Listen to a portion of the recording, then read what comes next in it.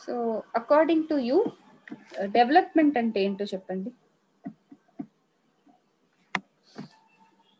Development అంటే ఏంటి?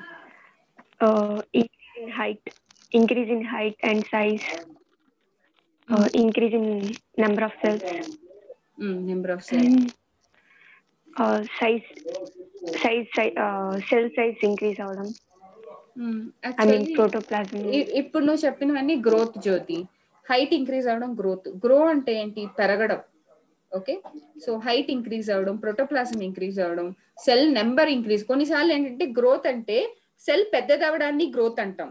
ఒకటి రెండు అవడాన్ని గ్రోత్ అంటాం. ఓకే రెండింటిని గ్రోత్ అని అంటాం.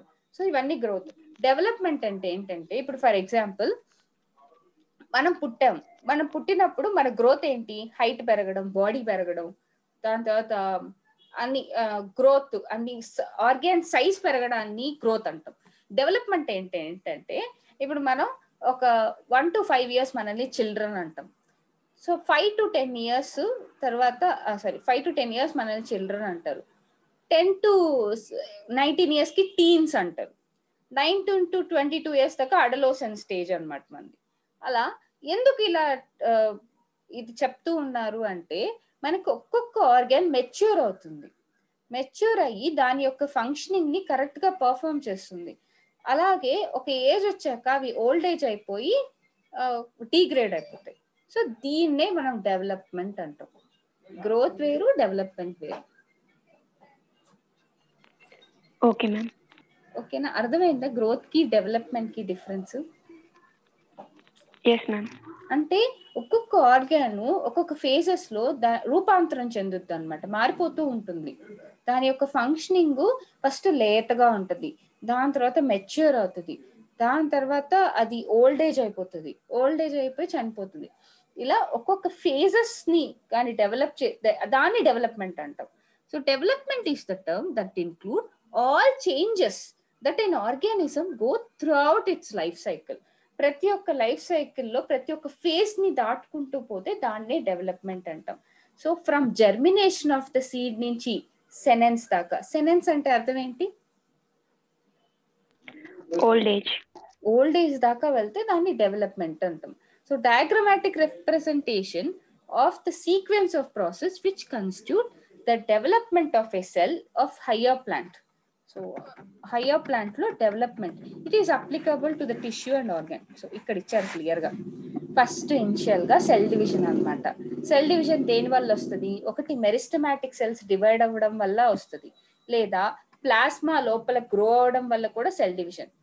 సో దాని తర్వాత ఈ సెల్స్ ఏమవుతుంది? డిఫరెన్షియేట్ అవుతాయి. డిఫరెన్షియేట్ అయిన తర్వాత ఆ డిఫరెన్షియేషన్లో కూడా ఎక్స్పాన్షన్ మెచ్యురేషన్ అంతా జరిగి మెచ్యూర్ సెల్ ఫామ్ అవుతుంది. ఆ మెచ్యూర్ సెల్ ఫామ్ అయ్యాక ఆ మెచ్యూర్ సెల్ కాస్త ఓల్డ్ ఏజ్ అయిపోతుంది. సో ఫైనల్గా డెత్. సో ఇలా ప్రతి స్టేజెస్ని దాటుకుంటూ వస్తే దాన్ని డెవలప్మెంట్ అంటాం so plant show different pathways in response to the environment or phases of life in the form of different kinds of structures the ability we call it as plasticity ఇప్పుడు మామూలుగా plastic plastic యొక్క nature ఏంటి చెప్పండి plastic యొక్క nature ఏంటి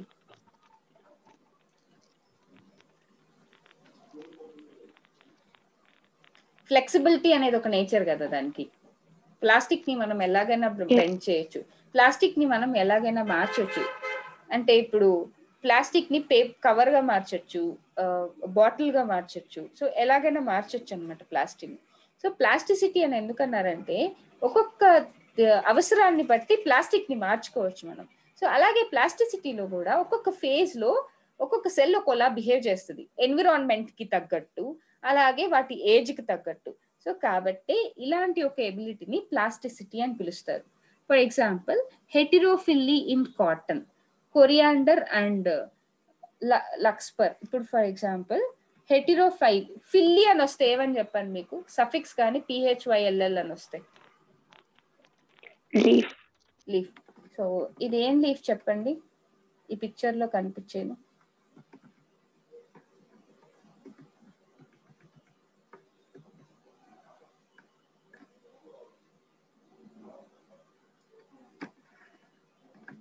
సరే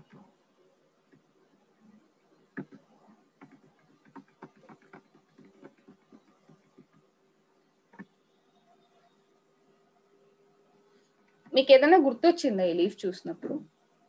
జనరల్గా మనం ఇంట్లో వాడుకునేది.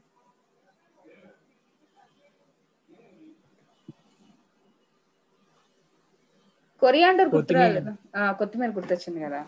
సో యాక్చువల్లీ ఏంటంటే ఇది కొత్తిమీర కాదు ఇక్కడ చూపించింది. లక్స్పర్ అని అది కూడా చూడడానికి కొరియాండర్ లానే ఉంటుంది. దీంట్లో మీరు చూసినట్టయితే జువెనైల్ అంటే చాలా చిన్న వయసు. జువెనైల్ అంటేనే అర్థం చాలా చిన్న వయసు అని సో బేబీ ఏజ్ తర్వాత వచ్చేది జువెనైల్. ఈ జువెనైల్ ఏజ్లో లీఫ్ ఏమో ఇలా ఉంది. అడల్ట్కి వచ్చేసరికి లీఫ్ ఇలా మారింది. దాని తర్వాత సో టెరెస్ట్రియల్ హ్యాబిటాట్లో ప్లాంట్ ఉంటే ఇలా ఉంటుందన్నమాట. సో ఇది వచ్చి వేరే ప్లాంట్ అన్నమాట. ఇది వేరే ప్లాంట్ ఇది బీలో ఉండేది వేరే ప్లాంట్ టెరెస్ట్రియల్ అదే మొక్క మనకి ల్యాండ్ మీద ఉంటే ఇలా ఉంది. అదే మొక్క వాటర్లో ఉంటే ఇలా ఉంది. మీరు మామూలుగా ఇంట్లో దొరికే కొ- కొత్తిమీరే మీరు తీసుకున్నట్టయితే యంగ్గా అప్పుడే లేతగా ఉన్న కొత్తిమీర ఆకులేమో ఒకలా ఉంటాయి అన్నమాట దాని షేపు. అదే కొంచెం పెద్ద పెరిగిన కొత్తిమీర ఆకును చూస్తే అదొక రకంగా ఉంటుంది. సో హెటిరోఫైలీ అంటే డిఫరెంట్ టైప్స్ ఆఫ్ లీవ్స్ ఉంటాయి. బేస్డ్ ఆన్ ద ఏజ్ని బట్టి ఆ లీఫ్ యొక్క నెంబరు స్ట్రక్చర్ మారుతూ ఉంటుంది. In such plants the leaves of the juvenile plant juvenile అంటే చాలా యంగ్ ప్లాంట్ అన్నమాట. Are different in shape. And those in matured matured వాటికంటే లేతగా ఉండే ఆకులు చాలా చిన్నవిగాను డిఫరెంట్గా ఉంటాయి. On the other hand difference in shapes of the leaves produced in air and those produced in water in buttercup buttercup అనే ప్లాంట్లో అదే మొక్కని నీళ్ళల్లో పెంచితే ఒక రకంగా లీవ్స్ వస్తాయి. లేదా ల్యాండ్ మీద పెంచితే ఒక రకంగా లీవ్స్ వస్తాయి. అంటే వాటి ఎన్విరాన్మెంట్ని బట్టి వాటిని ఏజ్ని బట్టి వాటి యొక్క రూపాంతరం మారుతూ ఉంటుంది. So the heterophilous development is due to environment. And this phenomenon we call it as heterophyly which is an example of plasticity. అంటే దానికి తగ్గట్టు అది మార్చుకుంది కదా. Coming to the next thing so thus growth and differentiation and development are very closely related so growth development differentiation ఈ మూడు చాలా క్లోజ్గా రిలేట్ అయి ఉంటాయి అనమాట అంటే మనకి గ్రో అవుతాం. గ్రోత్తో పాటు డెవలప్మెంట్ జరగాలి. సో అలానే డిఫరెన్సియేషన్ కూడా. మూడు వచ్చి సైమల్టేనియస్గా జరిగే ఒక ప్రాసెస్ అన్నమాట. ఇప్పుడు ఫస్ట్ గ్రోత్ జరుగుద్ది తర్వాత డెవలప్మెంట్ జరుగుద్ది అనేం లేదు. సో గ్రోయింగ్తో పాటు డెవలప్మెంట్ కూడా జరుగుతూ ఉంటుంది. So events in life life of the plant. Broadly development is considered as the sum of growth and differentiation. So development అంటే ఏంటంటే గ్రోత్ ప్లస్ డిఫరెన్సియేషన్ కలిపితే దాన్ని డెవలప్మెంట్ అని పిలవాలి. So development in plants both growth and differentiation. Is under the control of intrinsic and extrinsic factors intrinsic factor అంటే లో మొక్క లోపల నుంచి వచ్చే ఫ్యాక్టర్స్ అన్నమాట. ఫర్ ఎగ్జాంపుల్ మొక్కలో ఉండే హార్మోన్స్ కానీ సైటోప్లాజం కానీ ఆ ఆ న్యూక్లియస్లో జరిగే ప్రోటీన్ సింథసిస్ కానీ ఇవన్నీ ఇంట్రెన్సిక్ కిందకు వస్తాయి. ఎక్స్ట్రెన్సిక్ కిందకు వస్తే water soil fertility air moisture oxygen carbon dioxide ఇవన్నీ external factors so the former include both intracellular అంటే జెనెటికల్గా. ఆర్ ఇంటర్ సెల్యులర్ ఇంట్రాసె ఇంటర్ అంటే ప్లాంట్లో గ్రోత్ రెగ్యులేటర్స్ అని ఉంటాయి. ఇప్పుడు ఈవెన్ మనలో కూడా గ్రోత్ రెగ్యులేటర్స్ ఉంటాయి. దాన్నే మనం హార్మోన్స్ అని పిలుస్తాం. ఆ ప్లాంట్లో కూడా గ్రోత్ రెగ్యులేటర్స్ ఉంటాయి. So while later include light temperature water oxygen nutrition etcetera ఇవన్నీ ఎక్స్టర్నల్ అనమాట light temperature water oxygen nutrition. ఇంకా జెనెటికల్ లేకపోతే ప్లాంట్ గ్రోత్ రెగ్యులేటర్స్ వచ్చి ఇంటర్నల్గా వచ్చే ఫ్యాక్టర్స్ అన్నమాట. ఫస్ట్ ప్లాంట్ గ్రోత్ రెగ్యులేటర్స్ వీటి యొక్క క్యారెక్టరిస్టిక్ ఫ్యూచర్స్ ఏంటంటే ఇవి చాలా స్మాల్గా ఉంటాయి. Simple molecules of diverse chemical composition అంటే ఒక్కొక్కటి ఒక్కొక్క రకమైన కెమికల్ కంపోజిషన్ని కలిగి ఉంటుంది. They could be indole compounds so indole అంటే ఇండోల్ త్రీ అస్టిక్ యాసిడ్ లేదా అడినైన్ డెరివేటివ్స్ అయి ఉండొచ్చు. So N six furfuryl amine purine kinetin ఇవన్నీ కూడా. సో ఈ పేర్లు అయితే గుర్తుపెట్టుకోవాలన్నమాట. ఐఏఏ అంటే మామూలుగా ఇండోల్ త్రీ అస్టిక్ యాసిడ్ అని ఎక్కడ ఇవ్వడు. మనకి ఐఏఏ అని ఇస్తాడు. ఐఏఏ అంటే ఇండోల్ అస్టిక్ యాసిడ్ అని గుర్తుపెట్టేసుకోవాలి.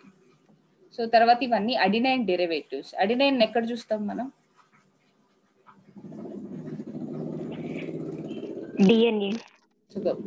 డిఎన్ఏలో చూస్తాం. డిఎన్ఏలో ఎలా చూస్తాం? అడినైన్ని డిఆక్సీ అడినోసిన్ అని చెప్పాలి ఓకేనా? అదే అడినోసిన్ అడినోసిన్ని ఎక్కడ చూస్తాము అంటే ఆర్ఎన్ఏలో చూస్తాం. Okay ma'am. అడినోసిన్ అని చెప్పాలి. అదే డిఎన్ఏలో ఎలా చూస్తామంటే డిఆక్సీ అడినోసిన్గా చూస్తాం. అండ్ నెక్స్ట్ వచ్చి carotenoids derivatives of carotenoids abscisic acid ఇది ఏబిఏ అని ఇస్తారు. ఐఏఏ అంటే ఇండోల్ త్రియాస్టిక్ యాసిడ్ ఏబిఏ అంటే abscisic acid. So terpenes gibberellic acid GA three. తర్వాత gases like ethylene C two H four. మనకి ఇథలిన్ బాగా తెలుసు. ఇథలిన్ దేనికి వాడతారు చెప్పండి? రెగ్యులర్గా. మామిడి పళ్ళ సీజన్ వస్తే ఇథలిన్ గ్యాస్ తోనే రిపెనింగ్ రైపనింగ్ చేయడానికి వాడతారు. అన్ని ఒక రూమ్లో వేసేసి ఇథలిన్ గ్యాస్ వదిలేస్తే అవి రైపనింగ్ అయిపోతాయి అనమాట ఎర్లీగా మెచ్యూర్ అయిపోతాయి. సో కానీ లోపలేమో వాటి యొక్క పుల్లదనం అట్టే ఉంటుంది. పైన యొక్క రెండు అవన్నీ మెచ్యూర్ అయిపోతాయి. సో ఇతలైన ఒక ఫార్ములా ఇచ్చాడు అనమాట C two H four so plant growth regulators are variously described as plant growth substances. లేదా ప్లాంట్ హార్మోన్స్ అని లేదా ఫైటో హార్మోన్స్ అని చెప్తాం అనమాట ఏవైనా కావచ్చు. ప్లాంట్ గ్రోత్ సబ్స్టెన్స్ అని ఇచ్చినా లేకపోతే ప్లాంట్ హార్మోన్స్ ఫైటో హార్మోన్స్ అని ఇచ్చినా ఏదైనా కరెక్టే దీనికి. So the plant growth regulators can be grow broadly into two two groups రెండు గ్రూప్స్గా డివైడ్ చేశారు బేస్డ్ ఆన్ ద ఫంక్షనింగ్ ఫంక్షనింగ్ని బేస్ చేసుకొని ఎక్కడైనా సరే ఆల్ ఓవర్ బయాలజీలో మనకి ఏదైనా డివైడింగ్ ఇది ఇలా స్ప్లిట్ చేశారు అంటే దేన్ని బేస్ చేసుకొని స్ప్లిట్ చేశారు అని ఒక్కసారి చూడండి. ప్రతి ఒక్క దానికి ఒక బేసిస్ ఉంటుంది. దాని పలానా దాన్ని బేసిస్ చేసుకొని స్ప్లిట్ చేస్తారు. So one group of PGR so one group of PGR PGR అంటే? ప్లాంట్ గ్రోత్ రెగ్యులేటర్స్ ఆ, ఒక గ్రూప్ ఏమో మనకి గ్రోత్ని ప్రమోట్ చేసేవి. గ్రోత్ని ఎలా ప్రమోట్ చేస్తాయి? ఏదైనా సరే. గ్రోత్ని ప్రమోట్ చేయాలంటే ఒకటి సెల్ డివైడ్ అవ్వాలి లేదా సెల్ పెద్దది అవ్వాలి సో దీన్నే మనం ఏమంటామంటే cell division cell enlargement enlargement అంటే ప్రోటోప్లాజం పెరగడం. పెరగడం వల్ల అలా గ్రో అవడం సో లేదా pattern formation tropic growth flowering fruiting seed formation ఇవన్నీ కూడా గ్రోతే so these are also called plant growth promoters ఇవన్నీ కూడా గ్రోత్ని ప్రమోట్ చేసేవి. ఎగ్జాంపుల్స్ వచ్చి ఆక్సిన్స్ గిబ్బర్లిన్స్ అండ్ సైటోకైనన్స్ యూజువల్గా వచ్చి మనకి క్వశ్చన్స్ అడిగేటప్పుడు ఇలా ఆప్షన్స్ ఇచ్చి ఏవి గ్రోత్ని ప్రమోట్ చేస్తాయి అని అడుగుతారు. ఈ మూడు కూడా గ్రోత్ని ప్రమోట్ చేస్తాయి మనకి. గుర్తుపెట్టుకోండి. Auxins gibberellins and cytokinins so ఈ పేర్లో ఇదైతే గుర్తుపెట్టుకోండి. ఈజీగా గుర్తుపెట్టుకోవచ్చు. సైటోకైనిన్స్ సో ఎక్కడైనా సరే కైనెన్స్ అంటే అవి గ్రో అయ్యేలానే చేస్తుంది. సెల్ని గ్రో అయ్యేలా చేస్తాయి ఇవి. Auxins gibberellins.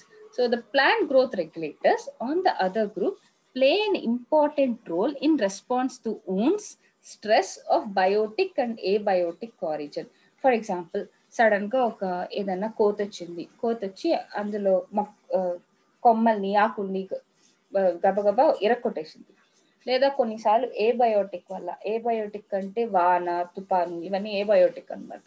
సో వీటి వల్ల కూడా మొక్కలు డ్యామేజ్ అవుతాయి. So they are are involved in various growth inhibiting activities. So కొన్ని కొన్ని హార్మోన్స్ ఉంటాయి. అవి గ్రోత్ని promote చేయవన్నమాట. So such as dormancy dormancy అంటే ఏంటో చెప్పండి?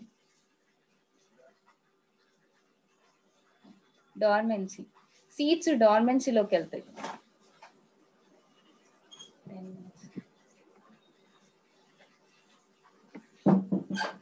హలో మామూలుగా డార్మెన్సీ అని ఎక్కడన్నా విన్నారా?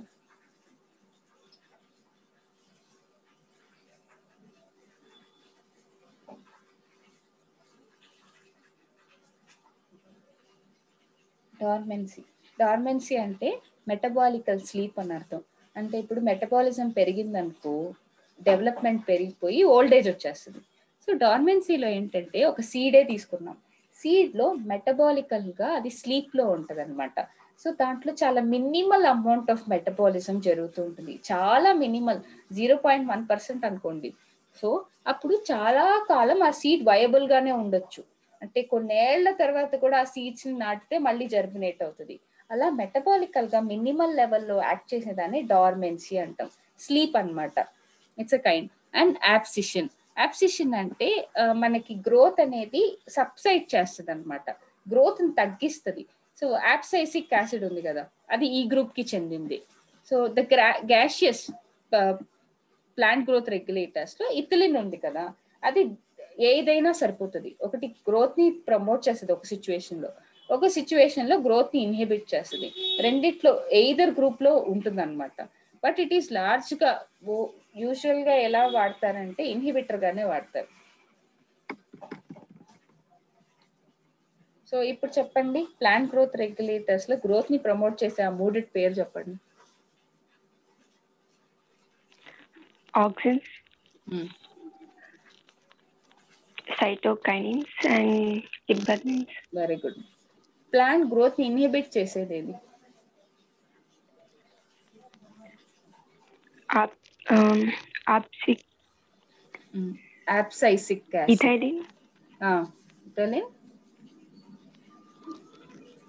abscisic acid okay so ఇవి ఇన్హిబిటర్స్ వెరీ గుడ్ అంటే కొన్నిసార్లు గ్రో ఇన్ యాప్సిషన్ అంటే ఇన్హిబిషన్ అని గుర్తుపెట్టుకోండి. సో అక్కడి నుంచి వచ్చింది ఆ పేరు abscisic acid so the discovery of plant growth regulators అసలు వీటిని ఎలా డిస్కవర్ చేశారు?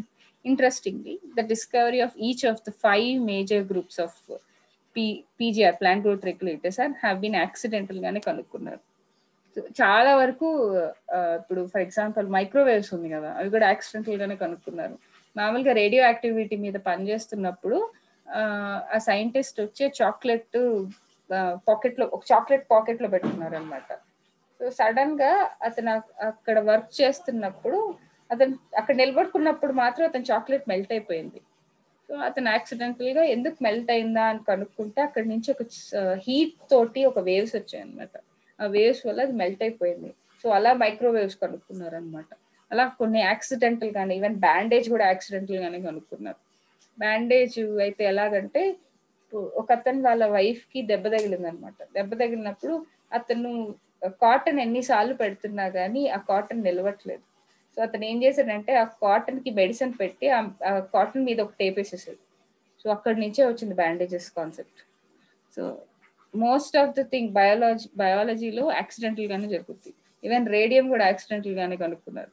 సో అక్కడి నుంచి మళ్ళీ ఆ రేడియం మీద స్టడీ చేస్తూ స్టడీ చేస్తూ దాన్ని రేడియో యాక్టివిటీ యొక్క ఫ్రీక్వెన్సీ ఇంకా ఇంటెన్సిటీ తెలియక మేడం క్యూరీ చనిపోయారు. So all this stated with observation of Charles Darwin and his son Francis Darwin. Darwin ఎవరో మనకు తెలుసు కదా.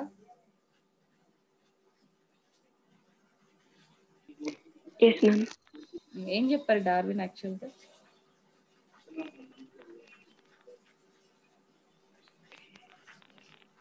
డార్విన్ సిద్ధాంతం ఏంటి survival for the fittest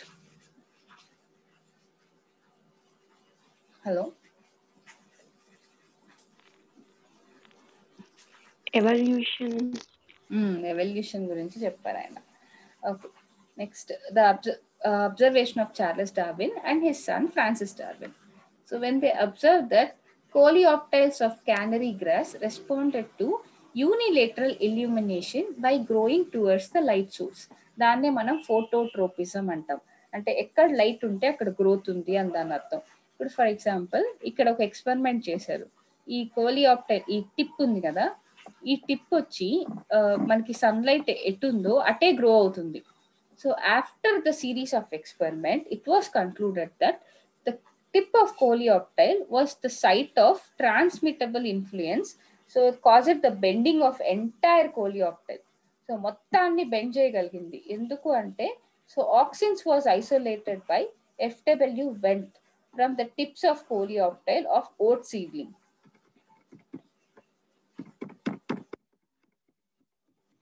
Next.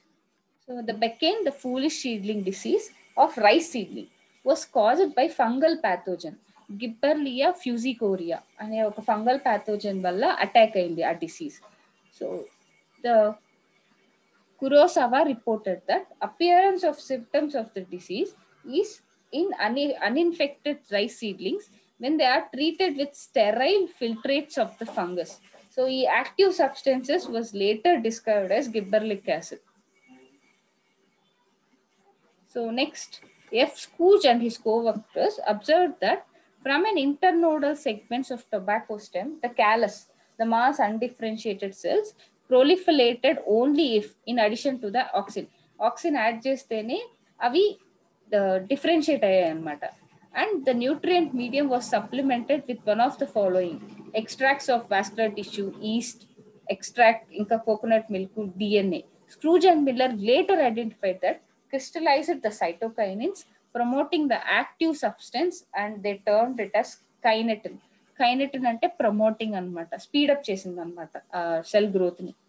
Next in the mid nineteen సిక్స్టీలో three independent researchers reported the purification and chemical characterization of three different kinds of inhibitors ఒకటి inhibitor B ఇంకొకటి వచ్చి abscission two ఇంకోటి dormin later all the three were proven the chemically identical అని prove చేసి దాన్నే abscisic acid గా పేరు పెట్టేశారు so cousins confirm the release of volatile substances from the ripe and oranges that hastened the ripening of the stored I unripened bananas later this volatile substances was identified as ethylene which is a gaseous uh, plant growth re- uh, regulators so let us study some physiological effects of the five categories of pgr in the next section So ఇప్పటి వరకు మనకి five చూసాం. ఒకటి auxins ఇంకోటి cytokinins ఇంకోటి gibberellic acid ethylene abscisic acid.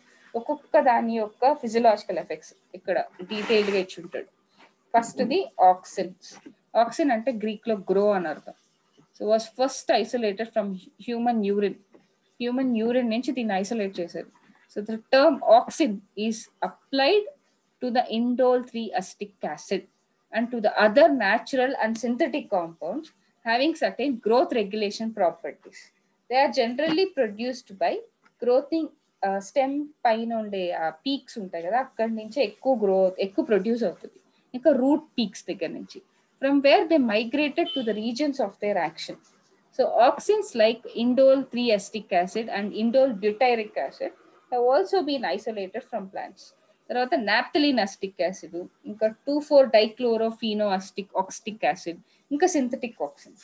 All these auxins has been used extensively in agriculture horticulture practices అంటే మనకి plants త్వరగా గ్రో అవ్వాలంటే ఈ ఆక్సిన్ మెటీరియల్స్ వేసినప్పుడు త్వర కెమికల్గా యాడ్ చేసినప్పుడు కూడా త్వరగా గ్రో అవుతాయి.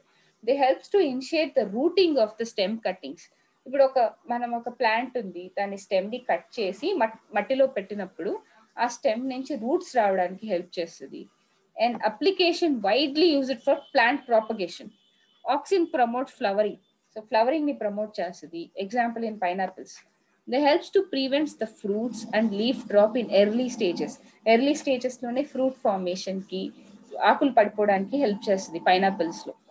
But promote the abscission of older mature leaves and fruits so వాటిని మాత్రం మెచ్యూర్ అవ్వకుండా స్టాప్ చేస్తుంది అనమాట ఓల్డర్ లీవ్స్ని ఫ్రూట్స్ని మెచ్యూర్ అవ్వకుండా so in most of the higher plants the growing apical bud inhibits the growth of lateral buds higher plants ఏంటంటే apical bud lateral bud యొక్క గ్రోత్ని ఇన్హిబిట్ చేస్తుంది. దాన్నే మనం ఎపికల్ డామినెన్స్ అంటాం. So the removal of shoot tips దాన్నే decapitation అంటాం.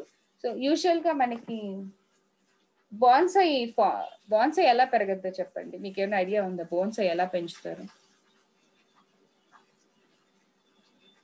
పెద్ద మర్రి చెట్టుని కూడా ఒక చిన్న పాట్లో పెంచేయచ్చు మనకి మామూలుగా రెండు రకాల బడ్డింగ్ సిస్టమ్ ఉంటుంది. ఒకటి ఎపికల్ బడ్ ఇంకొకటి లేటరల్ బడ్. మామూలుగా బాన్సైలో ఏం చేస్తారంటే ఫస్ట్ సీడ్ వేస్తారు. మామూలుగానే మొక్కని ఎలా పెంచుతారో అలానే పెంచుతారు. సీడ్ వేసి అలా వస్తున్నప్పుడు పైన వాటికి ఎపికల్ బట్టు ఉంటుంది లేటరల్ బట్టు ఉంటుంది. యూజువల్గా పెద్ద పెద్ద చెట్లకి ఏంటంటే ఎపికల్ డామినెన్స్ ఉంటుంది. అంటే పొడుగు పెరగాలన్నది సైడ్ లేటరల్ గ్రోత్ని తగ్గించేస్తుంది. యూజువల్గా పొడుగ్గానే పెరుగుతూ ఉంటుంది. వాళ్ళు ఏం చేస్తారంటే ఎపికల్ బెడ్ని కట్ చేసేస్తారు. సో ఎపికల్ బడ్ని కట్ చేసినప్పుడు ఏమవుద్ది? లేటరల్ గ్రోత్ ప్రమోట్ అవుద్ది. ఇప్పుడు లేటరల్గా గ్రో అవుతున్నప్పుడు మళ్ళీ లేటరల్ స్టెమ్స్ మీద ఉండే ఎపికల్ బడ్ని కట్ చేసేస్తారు. మళ్ళీ దాని నుంచి లేటరల్ గ్రోత్ అవుద్ది. మళ్ళీ దాని మీద ఎపికల్ బడ్ని కట్ చేస్తారు. అలా ఎపికల్ బడ్ని కట్ చేసి కట్ చేసి ప్లాంట్ గ్రోత్ని ఇన్హిబిట్ చేసే హార్మోన్స్ వేస్తూ వస్తే అంత పెద్ద మొక్కను కూడా చిన్న తొట్లో పెంచేయచ్చు. సో యాక్చువల్లీ అది Japanese way of developing plants అనమాట so auxins are also parthenocarpy parthenocarpy అంటే? పార్థినోకార్పి పార్థినోజెనిసిస్ అంటే ఏంటి? వర్జిన్ బర్త్ అని కూడా అంటాం. పార్థినోజెనిసిస్ అంటే. ఏం లేదు. కార్పీ అంటే ఫ్రూట్ అని అర్థం. పార్థీనో అంటే ఫర్టిలైజేషన్ లేకుండానే ఫ్రూట్ని డెవలప్ చేసేస్తుంది. ఇప్పుడు మనకి సీడ్లెస్ ఫ్రూట్స్ అన్ని అలానే కదా వస్తాయి. ఇప్పుడు బనానా యూజువల్గా బనానా కానీ వాటర్ మిలన్ కానీ ఇవన్నీ కమర్షియల్గా ఎక్కువ ఇదున్న కమర్షియల్ ఈల్డ్ ఉండేవి అనమాట సీడ్లెస్ ఇవి. సో సీడ్లెస్కి మనకి కమర్షియల్ వాల్యూ ఎక్కువ. సో అవన్నీ పార్థినో కార్పి అంటే సీడ్లెస్ అన్నమాట. అంటే ఇప్పుడు ఫ్రూట్ అనేది ఎక్కడి నుంచి వస్తుంది? ఏ పార్ట్ ఆఫ్ ద ఫ్లవర్ నుంచి వస్తుంది?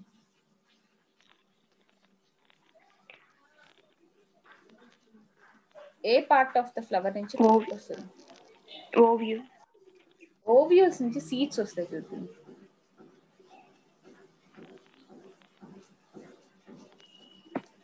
ఓవియోస్ నుంచి సీడ్స్ వస్తాయి. ఓవరీ వచ్చి ఫ్రూట్ అవుతుంది అనమాట ఓకే మ్యామ్ ఓకేనా ఓవ్యూల్స్ ఏమో సీడ్స్ వస్తాయి.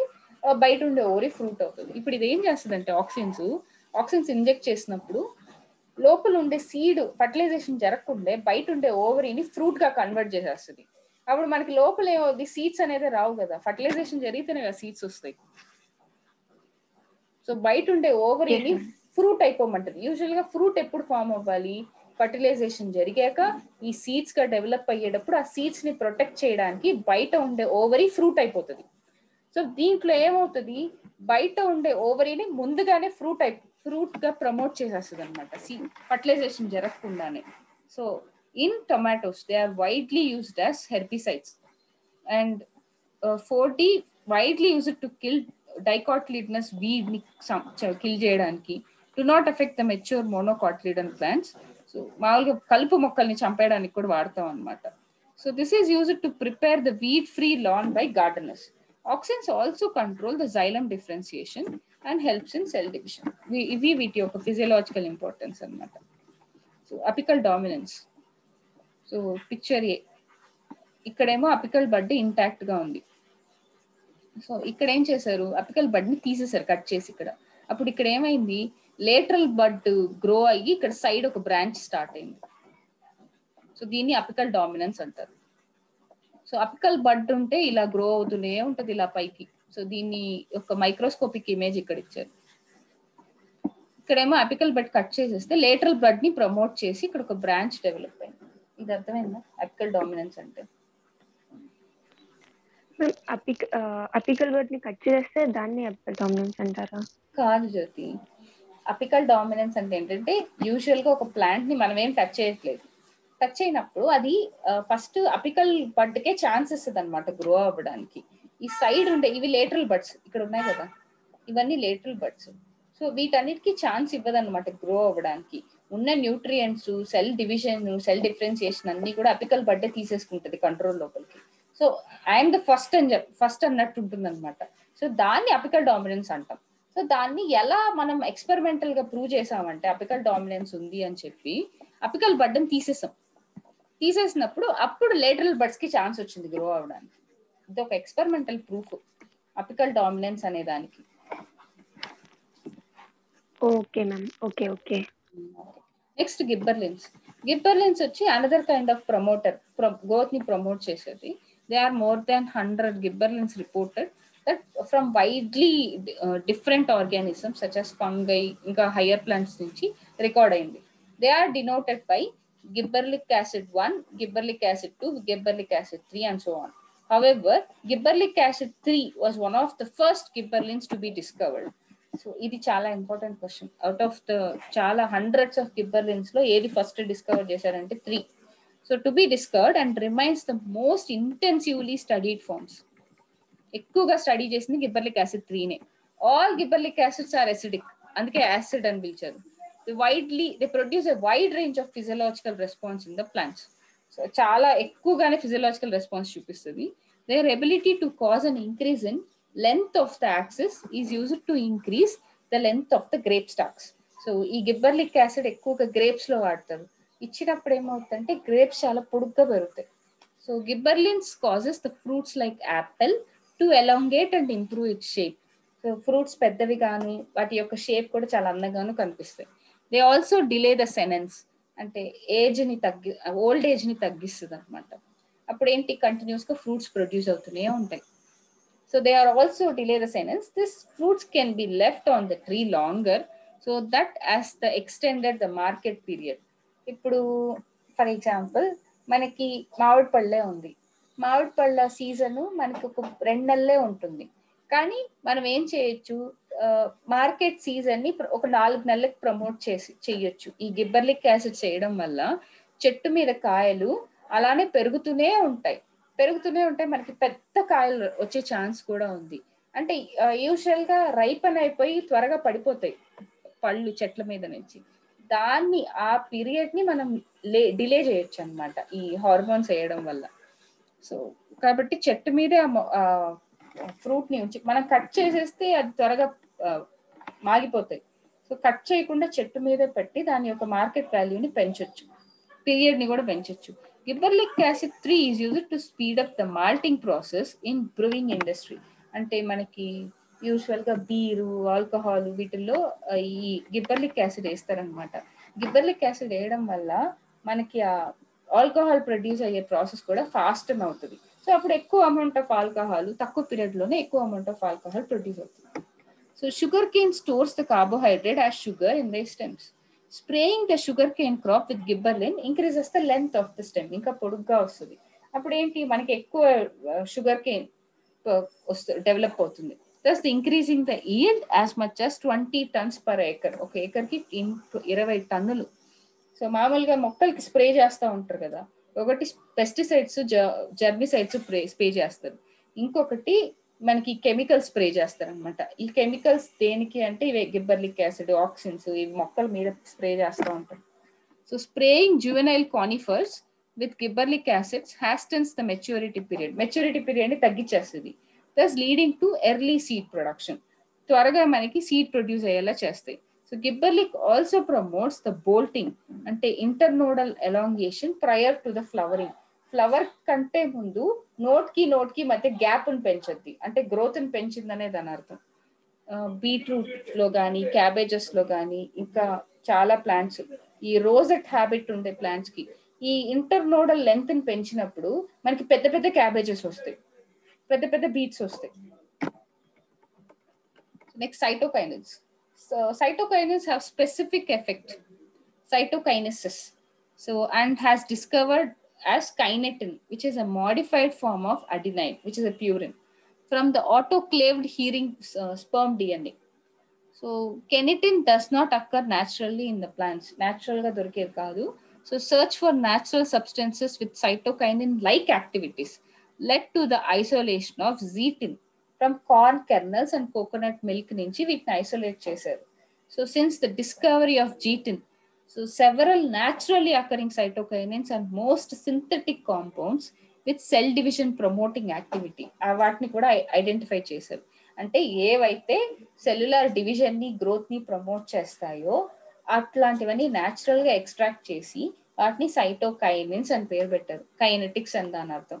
అంటే ఇవన్నీ ప్రమోట్ చేస్తాయి అనమాట సో న్యాచురల్ సైటోకైనిన్స్ ఏంటంటే which rapid the cell division occurs for example root అపీక్స్లో developing shoot buds young fruits లో ఇవి ఎక్కువ దొరుకుతాయి so they helps to produce new new leaves and the chloroplast in leaves lateral shoot growth adventitious shoot formation so cytokinins helps to overcome the apical dominance apical dominance ని తగ్గించి మనకి growth అనేది చెట్టు అనేది చాలా లావుగా డెవలప్ అవుతుంది they promote the nutrient mobilisation which helps to delay the leaf senescence న్యూట్రియంట్స్ని ఒక ప్లేస్లో నుంచి ఇంకో ప్లేస్కి తీసుకెళ్ళడం వల్ల ఓల్డ్ ఏజ్ అనేది కూడా తగ్గించేస్తుంది ఈవెన్ గిబ్బర్లిక్ యాసిడ్ కూడా అంతే కదా ఓల్డ్ ఏజ్ని తగ్గించేస్తుంది and next ethylene ethylene is the simple gaseous plant growth regulators it is synthesized in large amounts by tissues which is undergoing senescence and ripening fruits so old ఏజ్లో ఇంకా ripening అయ్యే టైంలో ఎక్కువ produce చేస్తుంది.